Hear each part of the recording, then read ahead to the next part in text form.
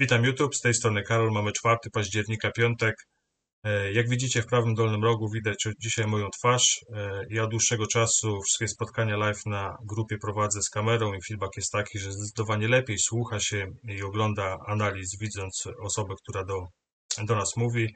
Więc postaram się, aby na wszystkich nagraniach, choć nie obiecuję, bo często e, gdzieś czasami wypada tak, że analizę nagrywam poza domem. Biorę tylko laptopa i jakiś mikrofon ze sobą i często narzekacie na tę jakość głosu, jak gdzieś tam e, jestem w terenie i, e, i, i, i robię aktualizacje.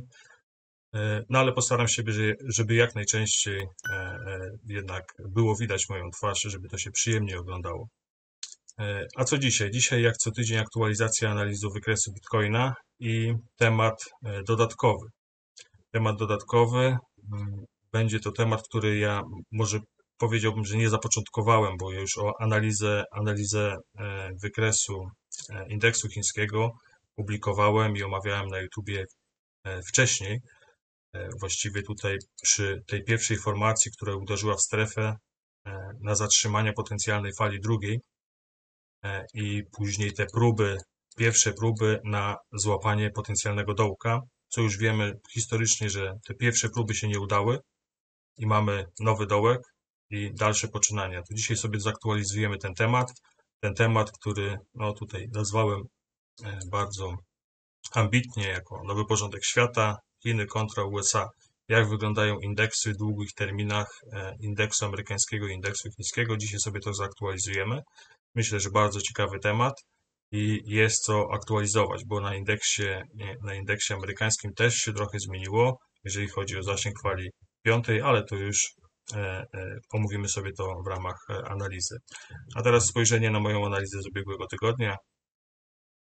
No i na początku Bitcoin. Na Bitcoinie nie było zbyt dużo, że tak powiem, rzeczy, zbyt dużo założeń, które były jakieś mocne. E, Bardzo dużo mówiłem o tym, że no nie widzę tutaj mocnego sygnału na wzrosty, nie widzę mocnego sygnału na spadki. Ogólnie nie ma mocnego potwierdzenia tego, że to jest faktycznie dołek, że to jest fala czwarta i czekamy, e, czekamy co dalej rynek narysuje. I omawiałem różne scenariusze, które chciałbym tu zobaczyć w scenariuszu wzrostowym, bo nie ukrywam, że jestem jednak nastawiony prowzrostowo niż prospadkowo na Bitcoinie.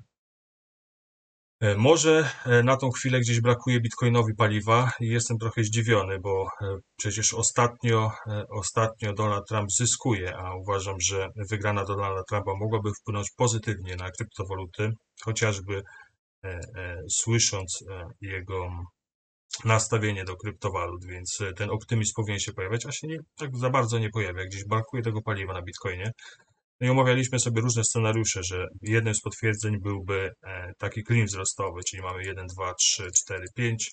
No i po takim klinie mamy zwiększone prawdopodobieństwo, że do dołu to korekty i jedziemy do góry. No i tutaj jeszcze e, pokazywałem ostatni e, bastion, jakby może nawet nie, nie ostatni bastion, ale jakoś strefa wsparcia, która jest bardzo ważna, żeby jej nie przebijać w ramach budowania tutaj potencjalnej fali czwartej. Także dzisiaj sobie to zaktualizujemy.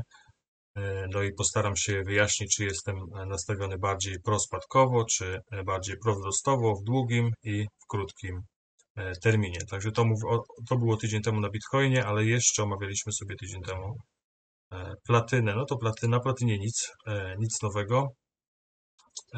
Gdzie ta platyna jest? O Bitcoinie, o Bitcoinie, Solana. A, platyna była na wstępie, dobra, to nieważne.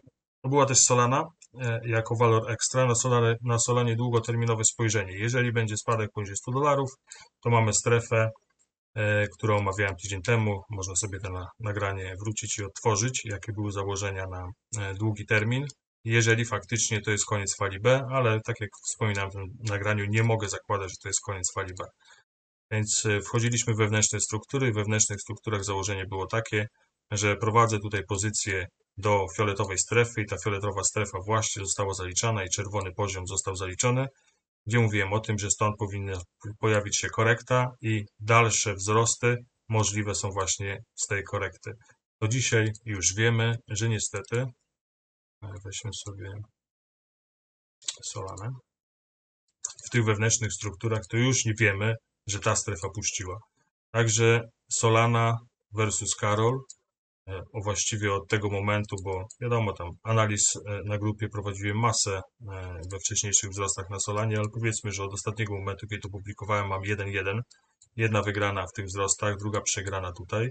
I teraz aktualnie rozgrywa się akcja o utrzymanie dalszych wzrostów na zasadzie korekty płaskiej z wybiciem jeszcze raz tego szczytu. Jeżeli nie, no to wracamy do scenariusza długoterminowego ze spadkiem po, poniżej stówy i tam dopiero szukamy dołka. Więc na razie walka trwa tu. Na razie jeszcze decyzji nie podjąłem, chociaż tu linia trendu została utrzymana. Jeżeli wzrost będzie kontynuowany, to może po korekcie podejmę taką decyzję, będzie taka analiza się pojawiać na kontynuację wzrostu. Jeżeli nie, to czekam na poziomy niższe, w okolicach 130-145, tu będę obserwował, jak, jak będzie cena reagować na poziomie Fibonacciego 618, na potencjalne zakończenie takiej korekty płaskiej. Także Solana cały czas w grze. I to chyba było tyle z ostatnich analiz. No była ta platyna, ale na platynie się nic nie zmieniło. Może surowce zrobimy sobie w przyszłym tygodniu. E, to zaktualizujemy sobie i złoto, i, i platynę. A dzisiaj zapraszam Was do aktualizacji analizy wykresu Bitcoina i e, indeksów e, globalnego spojrzenia na indeksy amerykański i chiński. Zapraszam do oglądania.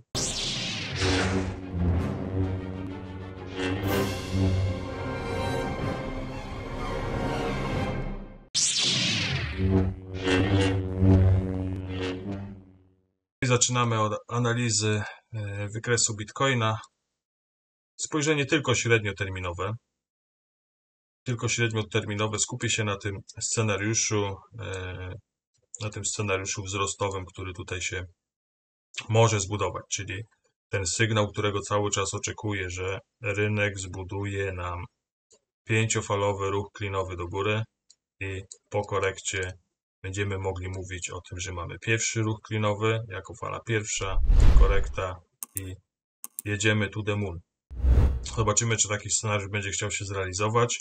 E, dla e, tego scenariusza kluczowym miejscem, bo jeszcze tego nie ma, to jest czyste gdybanie, to nie jest żadna analiza techniczna, to jest rzecz, która może się narysować i wtedy będę budował pod to scenariusz i kluczowe miejsce będzie w momencie skorygowania tego ruchu.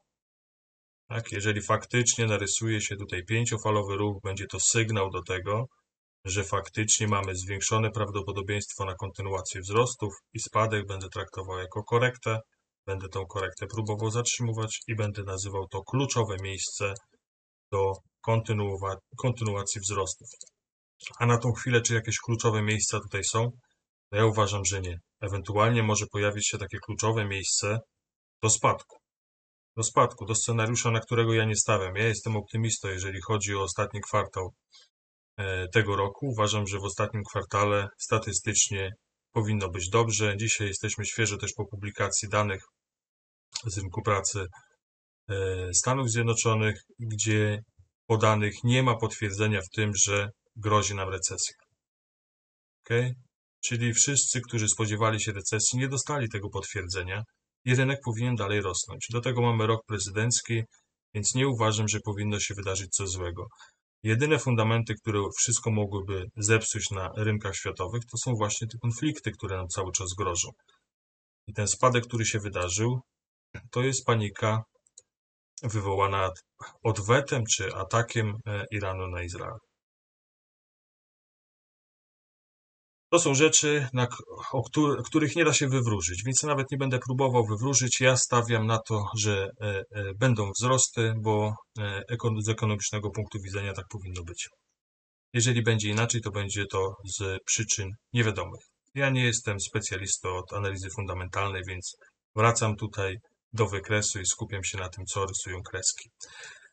Kreski rysują założenie, że to jest poziom bardzo ważny. Ja, e, ja tak, tak to interpretowałem na, e, na grupie, że jest to miejsce bardzo istotne, które trudno będzie pokonać. Spodziewam się reakcji popytowej z tego miejsca, a później w nagraniu, w nagraniu przed i w nagraniach wcześniejszych. Zaraz się do tego wrócę. E, omawiałem, jakie jest moje nastawienie, jakie jest moje nastawienie do tej projekcji tutaj na Bitcoinie. Rzecz, która zaskoczy wszystkich, to są wzrosty. I to dzikie wzrosty. Uważam, że większość rynku zakłada teraz, że oj, będzie źle, będzie źle i będziemy spadać głębiej. Ja się z tym zgadzam, bo faktycznie technicznie e, nie jesteśmy po trójfalowych ruchach e, i nie ma tu podstawy do tego, żeby myśleć, że jest dobrze. Tylko duży interwał wskazuje na to, że ten że to miejsce jest tutaj istotne, że ten poziom jest istotny. On może być naruszony. Zresztą ja już robiłem dla Was długoterminowe analizy, więc mniej więcej wiecie, jak ja patrzę na długi termin. Cały czas zakładam, że w dużym interwale spadki to są korekty. Ja i tak za wszelką cenę będę próbował wyszukiwać dołka. Nie jestem zwolennikiem pchania korekty. Uważam, że to jest jest to przede wszystkim trudniejsze, i nie powinnoś czegoś takiego robić. Tak? W trendzie chcemy dołączyć do impulsów, chcemy korekty zatrzymywać, a nie uczestniczyć w tym, żeby pchać korekty. Tak? Nie jesteśmy tutaj od tego, żeby pchać korekty. Próbujemy zatrzymać, żeby kontynuować dalej e, trend wzrostowy. A na Bitcoinie globalnie mamy cały czas dominujący trend wzrostowy. E, czego się spodziewam dalej? Jeżeli wsparcie zostanie utrzymane, e, to spodziewam się wzrostów. I proste założenie. Proste założenie e, wzrostów, które mają za zadanie pokonać wierzchołek fali trzeciej, dotrzeć w okolice 68 500 i wtedy możliwe, że zakończy się potencjalna fala piąta. Wcale nie musi, ale mamy tutaj opory, które mogą to faktycznie taką korektę wywołać. Ja nie jestem zwolennikiem zatrzymywania impulsów i wywołania korekt, pamiętajcie o tym. Więc jak mówię o korekcie, no to może się wydarzy, jestem bardziej gotowy na zatrzymywanie korekt niż na to, żeby pchać korektę. Pamiętajcie, nigdy nie pcham korekt. Więc jeżeli w moim w mojej analizie pojawia się słowo korekta, to Karol nie zakłada, że ona nawet się wydarzy. Tak? Tylko jest gotowy na to, że jak się wydarzy i jest gotowy na to, żeby próbować ją zatrzymywać. Więc na tą chwilę, jeżeli faktycznie te 60 tysięcy nie zostanie tutaj złamane i zobaczymy tutaj spadku i zamknięcia się ceny poniżej 60 tysięcy, to jestem cały czas jeszcze optymistycznie zastawiony do scenariusza wzrostowego. Ale bądźmy też racjonalistami. Jeżeli faktycznie nie ma jeszcze sygnału na Bitcoinie na wzrosty, nie ma pięciofalowego ruchu do góry, jesteśmy po trzech falach i nie ma jeszcze 4-5, to wcale tutaj się nie musi to wydarzyć. I nawet w sytuacji takiej, gdzie będziemy obserwować tutaj wzrosty, to bardzo ważne jest, jak te wzrosty będą wyglądały. Ja grupowiczom dzisiaj rano powiedziałem tak. Ja nie widzę silnej przewagi. Ja najchętniej odsunąłbym się od Bitcoina, bo te wewnętrzne struktury mi się bardzo tutaj nie podobają, a jest wiele innych rynków, w których wygląda wszystko bardzo czytelnie. Ale z racji tego, że specjalizuję się w analizowaniu e, tego waloru, to nie odpuszczam. To, co widzę aktualnie na wykresie, to wykupienie w postaci klina i teraz potrzebujemy minimalnie korekty. Więc ja zakładam, że dla tego ruchu minimalnie pojawi się korekta. Korekta, która powinna znosić cały spadek minimalnie o 3,82, a najsilniejszym miejscem do spadku na dzień dzisiejszy to jest poziom 0,5. Do tego chciałbym zobaczyć tutaj czytelny ruch trójfalowy, czyli podjazd pod poziomy 3,82,4,1,4, korektę i jeszcze jeden wzrost. Jeżeli taki układ czytelny się narysuje, podajemy próbę shortowania. Jeżeli się nie narysuje, i będziemy to w jakikolwiek inny sposób e, e, kontynuować wzrost, po prostu prowadzę pozycję długą i czekam na wybicie tego wierzchołka. Jeżeli faktycznie zrealizuje się scenariusz optymistyczny, czyli dostaniemy pięciofalowy ruch do góry,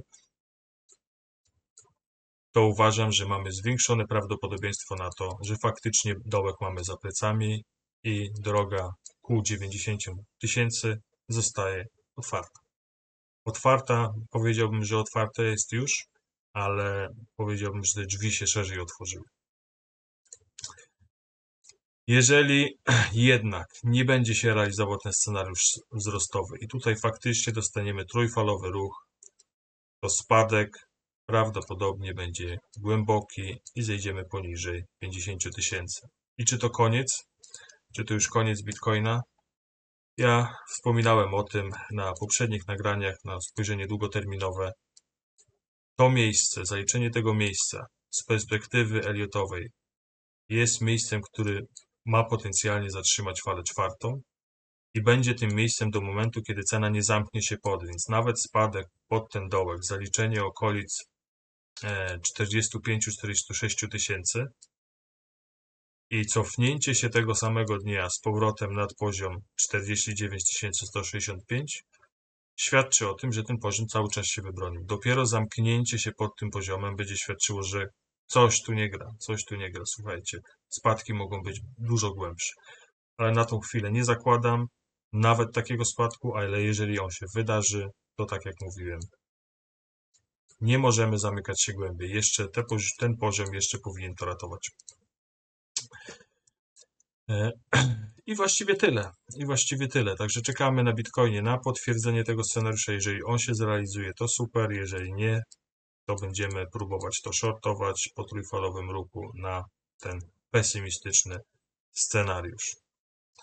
E, jest jeszcze jeden alternatywny scenariusz, bo mamy wsparcie z tego dołka, ale będzie to dziwnie wyglądać. To scenariusz taki, że nie będzie tu aż tak głębokiego spadku, tylko obronimy się w tym miejscu i zobaczymy trzy fale w górę, trzy fale w dół, trzy fale w górę, trzy fale w dół i trzy fale w górę i będziemy się tutaj tak powoli wspinać, budować dalej ten klin. Więc ja y, zaktualizuję sytuację, bo teraz nie mogę tego zaktualizować, nie mogę z dużym prawdopodobieństwem tego ocenić, ale jeżeli faktycznie tu się narysuje wzrost do 50% i stąd się wydarzy ten spadek, to jeszcze uważam, że jest taka szansa. Uważam, że jest jeszcze taka szansa, żeby kontynuować wzrosty. Więc warunkiem, warunkiem próby zatrzymywania tu jeszcze tej strefy niżej, e, ceny jeszcze tutaj niżej, jest sytuacja, w której spadek rozpocznie się co najmniej z poziomu 0,5. Ok? Więc y, no, zabawa w ping-ponga, tak? Odbijamy piłeczkę stąd, odbijamy piłeczkę stąd, odbijamy piłeczkę stąd. W którymś momencie paletka nie trafi w piłeczkę i, i piłeczka poleci, prawda? W którymś z kierunków. O i tyle. Dobra, nie przedłużam, e, nie przedłużam już tej analizy Bitcoina. Myślę, że myślę, że wytłumaczyłem to w miarę zrozumiale. A dzisiaj nagranie z kamerą, więc może ten odbiór będzie jeszcze lepszy. E, a teraz przechodzimy już do analizy e, indeksów. Indeks amerykański. I tutaj przejdźmy sobie na wykres. E, przejdźmy sobie na wykres SPX i spojrzenie globalne. Tu chciałbym zaktualizować, zaktualizować spojrzenie długoterminowe. Cały czas zakładam, tu się nic nie zmieniło, że ten ruch ma pięć fal, ma, w którym to ruchu pięciofalowym trwa fala piąta i zastanawiamy się nad tym, gdzie fala piąta mogłaby się zatrzymać. Ja Wam powiem pokrótce. Ja nie jestem zwolennikiem zatrzymywania trendu wzrostowego. Ja w ogóle nie jestem zwolennikiem zatrzymywania jakiegokolwiek trendu. Jeżeli mamy trend wzrostowy, to ja chcę uczestniczyć w trendzie wzrostowym do momentu, aż trend się złamie. Ja będę szukał wszelkich powodów do tego, żeby dołączyć do trendu i będę doszukiwał się sygnałów spadków tylko dlatego, żeby nie dołączać już do tego trendu. I w momencie, kiedy dostanę sygnał spadkowy, przechodzę na scenariusz spadkowy. Do, do momentu, kiedy trend trwa, to trwa. W momencie, kiedy się złamał, jeden, jeden ze sposobów oceniania, czy trend, trend się złamał, jest price action. Więc Jeżeli zobaczymy price action, złamanie chociażby tego ruchu, to jest jedna z przesłanek na to, że faktycznie dzieje się coś złego i piąty ruch mógłby się zakończyć faktycznie wywołać nam spadek. Dodam tutaj, że każdy ruch, czy to taki ruch, czy taki ruch, czy jakiś lokalny ruch, każdy ruch kiedyś, prędzej czy później zostanie skorygowany. Skorygowany minimalnie o 38%, tak zwane zniesienie wyborczego 0,382. Jeżeli ten ruch idzie bez żadnej większej korekty, to uważam, że prędzej czy później on też zostanie skorygowany o 30%.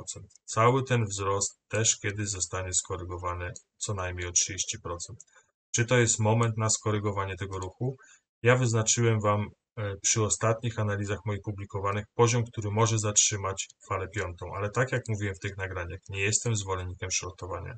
Czekam na sygnał. Jeżeli pojawi się chociażby duża formacja spadkowa na tym interwale, to będę podejmował próby shortowania. Dopóki nie, trzymam się tego trendu i uważam, że będą dalsze wzrosty.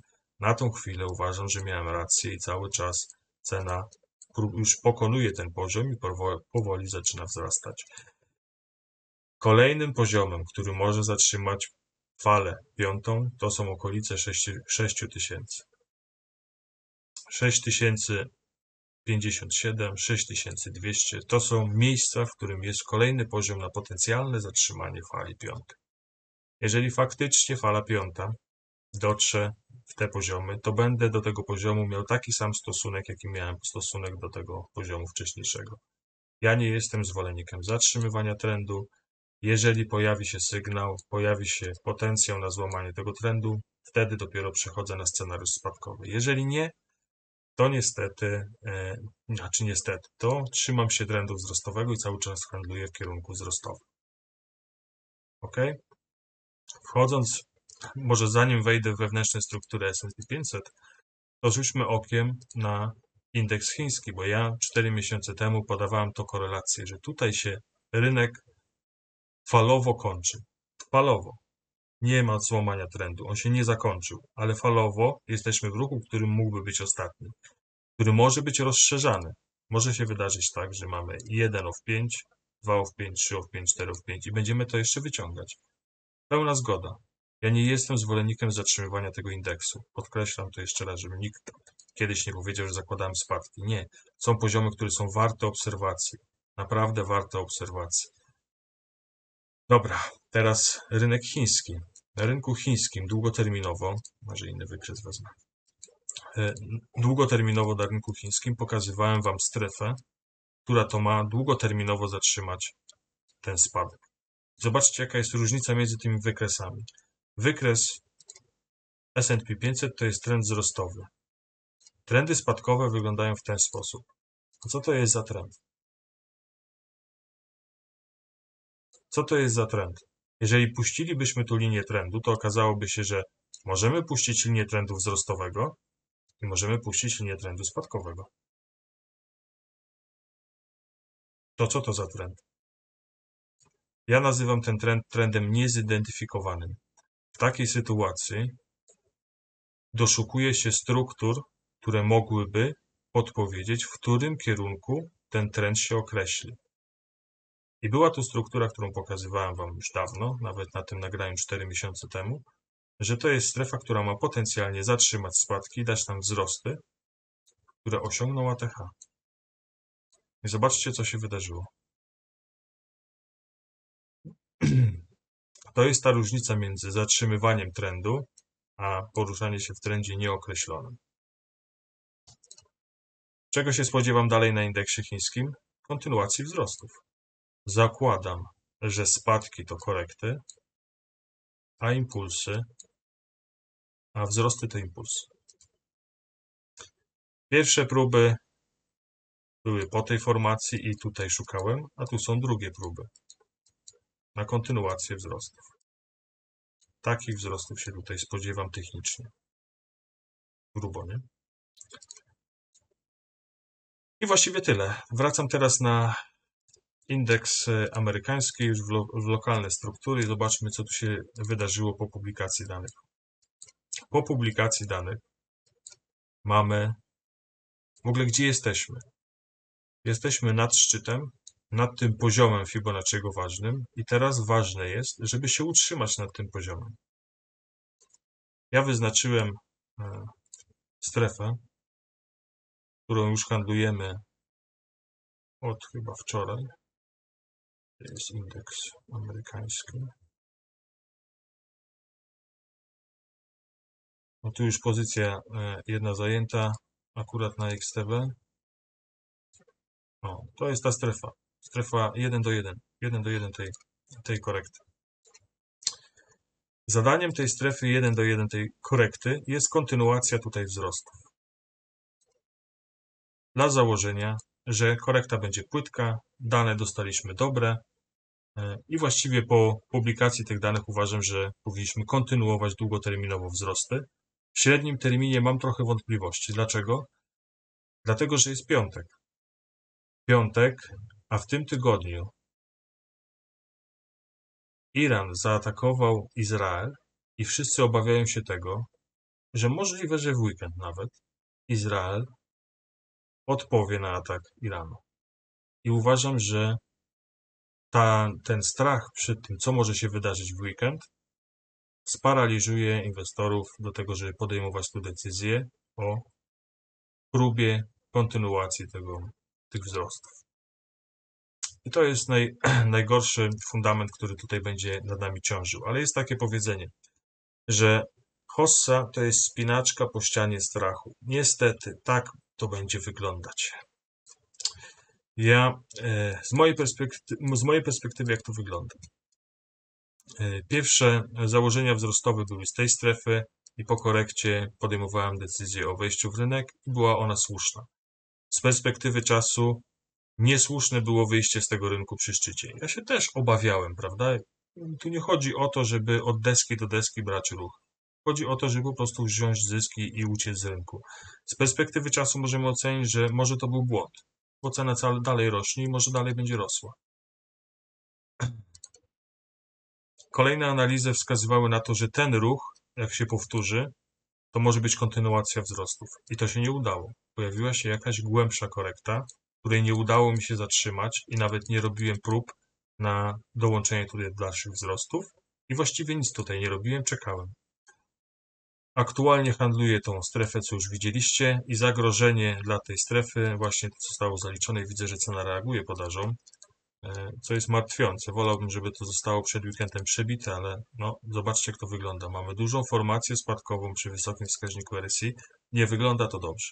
Więc przede wszystkim trzeba te pozycje nabierane stąd zabezpieczyć przed stratą. E, czy to jest jakaś, e, czy to jest jakieś miejsce kluczowe do wykonania jakiegoś dużego spadku? Ogólnie uważam, że z punktu ekonomicznego fundamenty są bardzo dobre do kontynuacji wzrostu. Bardzo dobre. Ale są też fundamenty, które, na które nie mamy wpływu, nie da się ich przewidzieć. To są właśnie te e, geopolityczne zamieszania na Bliskim Wschodzie. Jeżeli tam będzie się działo źle, to rynki będą się bały. I mimo tego, że mamy dobre fundamenty, że mamy czwarty kwartał, który statystycznie jest bardzo dobrym kwartałem, e, spodziewa, gdzie spodziewałbym się rajdu świętego Mikołaja, do tego mamy rok prezydencki, mamy dużo argumentów na to, żeby kontynuować wzrosty i, nie, i nawet dane, które miały tu po, gdzieś mm, upewnić osoby, które są e, e, nastawione na spadki, upewnić ich w tym, że faktycznie jest zagrożenie recesji, powinniśmy zacząć na rynkach wyceniać recesję. Nie ma tych danych, nie ma tego potwierdzenia. Więc e, no, ja jestem nastawiony cały czas prowzrostowo, nawet jeżeli miałaby się korekta pogłębiać, będę szukał e, potencjalnego zatrzymania takiej, takowej korekty. Mam tu jeszcze taki scenariusz, jak który wcześniej prowadziłem. Scenariusz, który zakładał, że w tych miejscach może być trudno, i może pojawić się nawet jakaś struktura trójkąta. Dlatego nie próbowałem tutaj handlować żadnych wzrostów, bo obawiałem się tego, że rynek będzie chciał się konsolidować i, i dopiero wybić górą. Nazbierać tych shortujących, nazbierać tych shortujących, a później ich wyczyścić yy, i zebrać z nich płynność. I zebrać tych, tych płynności. O co chodzi z tym zebraniem płynności? No, głównie chodzi o to, że jeżeli duże instytucje są za, za nastawione na spadki, czyli zalewarowane na spadki, to w takich sytuacjach z reguły odwracają po prostu pozycję. Ze shorta na longa. I to powoduje kontynuację wzrostów. Więc e, nawet jeżeli ten spadek miałby się pogłębić, e, a zacząłem mówić, jeżeli kiedyś zakładałem ten trójkąt, to dalej zakładam, że on może się tutaj zbudować. Ja może oddalę trochę wykres na 4-godzinowy interwał. Mam na myśli trójkąt pędzący, gdzie mamy falę A, mamy falę B, fala B, która wychodzi przez szczyt, dlatego się nazywa to trójkątem pędzącym. I dalej do góry. Zobaczymy, jakie tu scenariusze będą się robić, bo na tą chwilę żadnych nowych stref, stref nie wyznaczy. Mamy wsparcie w tym dołku, które można by było obserwować. Mamy wsparcie w tym dołku, które warto obserwować, ale ogólnie to krótkoterminowo to nawet nie chciałbym, żeby to padło, bo ja stąd handluję wzrost już. Więc ja chciałbym zobaczyć kontynuację wzrostów i uważam, że ona powinna być. Pytanie tylko, czy rynek się boi weekendu, czy jednak ma, że tak powiem, twarde ręce i nie puszcza i trzyma. Będziemy dalej kontynuować. Został, myślę, że od poniedziałku będzie łatwiej.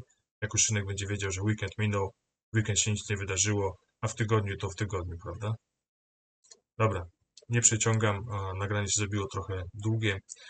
E, Ostatnio mamy bardzo brzydką pogodę. Zawsze zachęcam na koniec nagrania, żeby spędzić czas poza domem, żeby nie siedzieć przy wykresie, odpocząć od wykresu, odpocząć od stresu, który jest związany z inwestowaniem na rynkach finansowych. E, Tak, no pogoda może nie jest ciekawa, spoglądam w górę, bo e, mam okna dachowe. E, No cóż, spędźmy ten czas jakkolwiek, aby nie przy wykresie. Z rodziną, z przyjaciółmi i słyszymy się w następnym tygodniu. Trzymajcie się. Cześć.